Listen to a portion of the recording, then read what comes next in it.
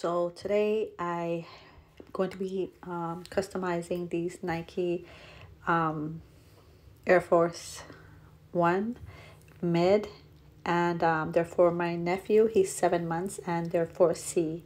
This is how it looks online so you really can't tell if they're big or small you know they look tiny but you can't tell but i went ahead and got my images on google put them into my silhouette cameo program printed them off just regular paper and right here i'm just you know they finally came i'm showing you what they look like compared to a stapler so you could have an idea that's all i had on my desk at the time so i don't want to pull out a ruler or anything yeah so you know I went got my images and then i cut them out just a rough cut and I put tape to stick them where I think I want them to be. I might move around later on, not sure. So now I'm on my Silhouette Cameo um, software and I'm actually going to be printing it now on my um, fabric paper well the paper that you know you could transfer on fabric.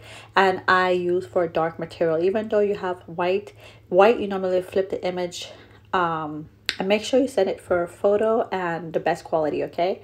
Once you're doing a photo paper. When you're doing a test print make it on a lesser um, um, quality paper whatever. It doesn't have to be best. You don't want to waste your ink. And now I'm printing it on the um, transfer paper. And just to show you how it looks awesome quality and I will be cutting these well some people cut them with the um, X-Acto knife I was getting frustrated so I just use them but cut them with my little scissors. So with the Silhouette Cameo, you could do a print then cut, but I'm always troubleshooting the cut. It always zigzags somewhere. I ruin a lot of paper, so I rather just sit and cut the four or five, what maybe ten images that I actually needed for this um, customized shoes. So my nephew is into Sesame Street right now, and so I have different um, custom shoes that I've done on this site. Just I'll try and link a couple of them when I'm putting this up. So what I did was basically take the transfer paper version and separate them on sides because you know when you take the tape off, the, the tape picture off, you might forget where you put them. Even though you're going to play around with it, I kind of don't want to mess around. So I went ahead and just did a start peel on all of the little pictures so that when it's time to stick them on, I'm not wasting time because my little uh, mini iron will be hot and waiting. So I already just had them already prepped. So I'm just showing you how to rip some, just a little, you know, a couple pictures just to show you what to do. So this is my, um, this is what came right here from Angelus Direct. I bought it. They have an, an awesome kit. The, the kit's in here, but I also bought some extra stuff um, to, you know, that I've learned from a few um, custom um, I guess, designer of shoes. And um, one of them that I learned to, because I did um, the t-shirt fabric um, transfer paper, I did that on a regular canvas material, but not letter material. Well, I don't know if it's real letter, but the letter version, not the um, cloth version.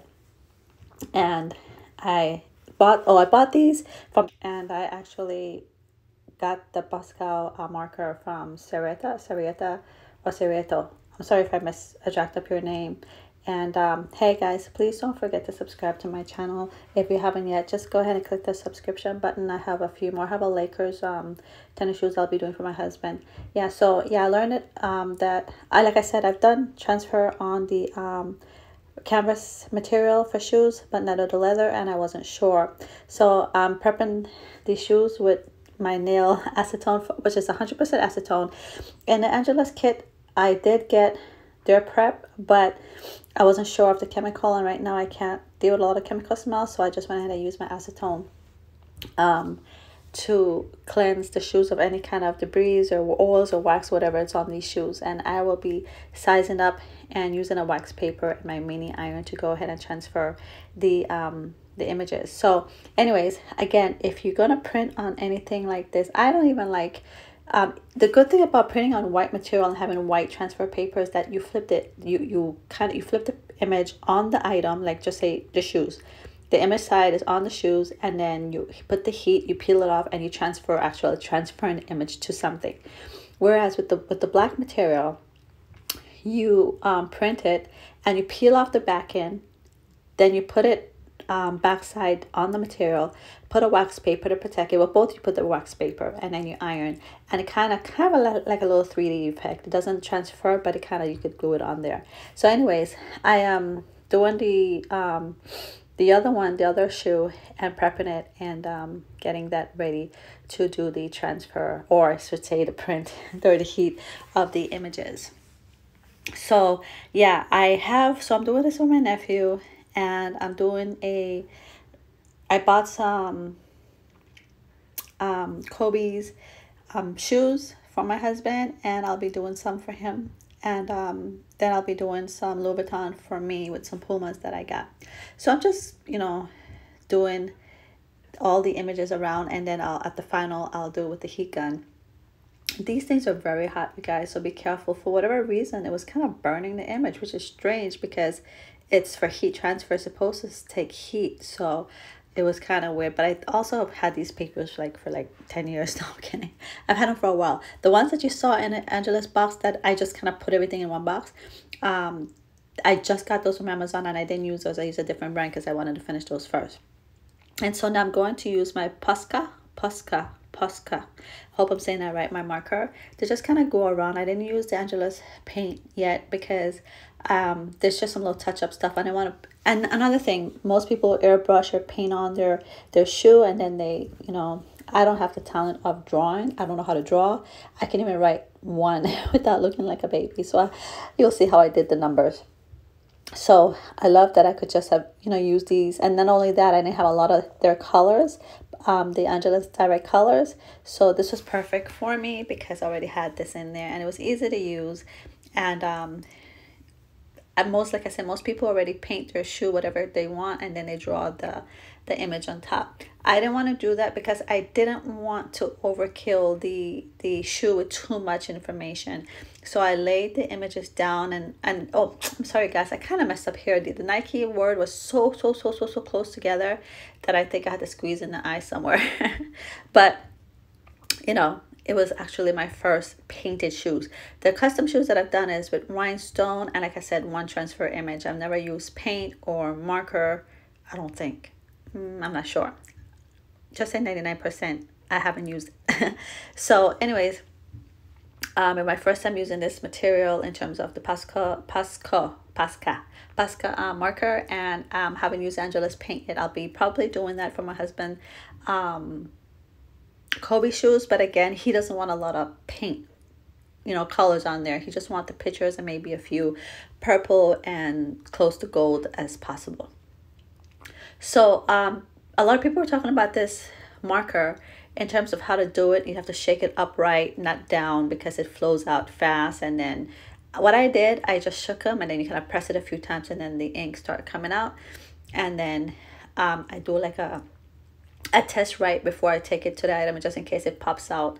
And not only that, I've noticed on some part of the shoes, because it's all leather, like leather material and not cloth, that I was able to use acetone to wipe it off before I did the final um, cure.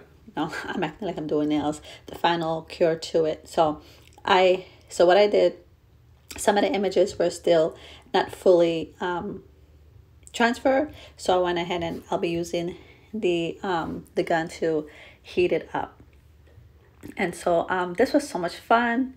Um, I don't know when I'll see my nephew in order to give it to him. I hope he's not two by the time this happens because you're not supposed to go anywhere right now. So we'll see what happens with that. Um, I haven't done a video in a while, but there's reasons behind that. So we'll, you know, that'll be another topic sooner or later. But um, I'm trying my best to do one right now. And um, it's hard for me to talk. That's why lately um, a lot of my videos have been music. But anyways, again, that's going to be another story. So the only downfall you might want to say with coloring the, the, the shoe after the image is on is that you can get like clean inside of the corners. But if you use a paintbrush and paint, that won't be a problem. So like I said, I don't even know how to write like pretty with numbers or letters whatever. So i bought these stencils from amazon and they're literally like maybe a five by seven size sheet. And i just traced the numbers. This one had an ugly six and i think an ugly seven so i switched to another one that i'm switching right now and then just tracing it. And then i'll just go over it because sesame street is very educational. When my boys were younger they weren't into sesame street. Um my oldest, which is he's 17, he was into Wiggles. Oh my God, Wiggles was my babysitter. and then my second one, I can't really say for sure what was his. I tried to put him onto Wiggles, but I think Wiggles were kind of like disappearing at, at that time. I'm trying to see what he used to watch. Hmm. Don't tell him I forgot. Anyways, yeah, so I guess Sesame Street's coming back around, which is really, really good, you guys, because you know it's a very educational. Well, I think all these kids shows are educational except Tom and Jerry.